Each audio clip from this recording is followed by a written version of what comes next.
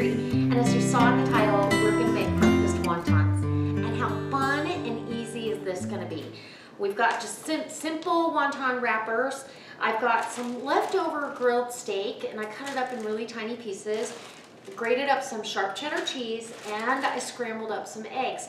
And these eggs are scrambled to a tender state. They're not really extra firm because we're gonna complete some cooking here. You can do all that the night before like I did. And I've also got an egg wash here. So these little square wonton wrappers are perfect for this.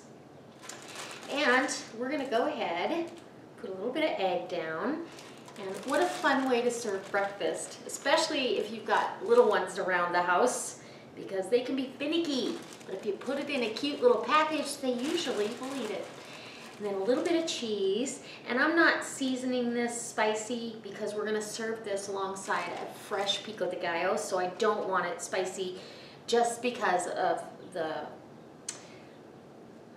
little one factor, just in case you're doing this for kids. This is gonna be for my husband and I. And so I just brush that with the egg wash, bring your sides together, try to get as much of the air out as you can, and press it down.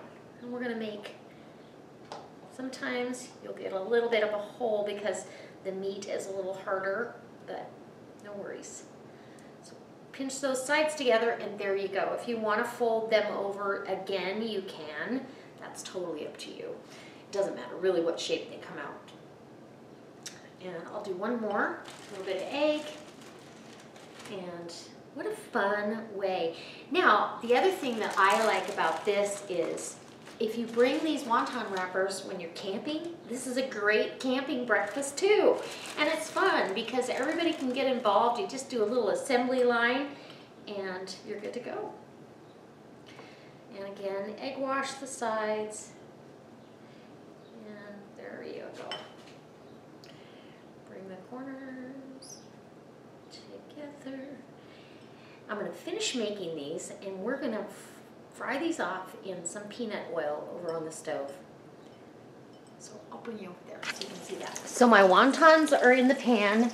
They are, I bet the oil's about 350 degrees.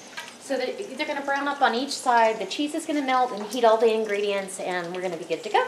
And we'll get them on a plate and show you what we've got. And you can just turn these real easily with a fork. So you can see how nice and brown and crispy. Look at those. How fun is this? And let these cool down to room temperature. Your kids are gonna love them. This is a great little breakfast item served with some salsa and a little bit of sour cream if you want and you're good to go. So I'll bring you over. Don't these look fabulous. They're all crispy golden brown and you've got your pico in the center to top it off. And I'm just gonna grab my spoon that I dished that up with and give you a taste test. And you wanna let these cool uh, close to room temperature. You don't want anybody burning their mouth and these are still pretty hot, so I'll grab this one here. Grab yourself one, put a little bit of the pico on there if you want, or eat them without it. Okay, taking a bite. Mmm.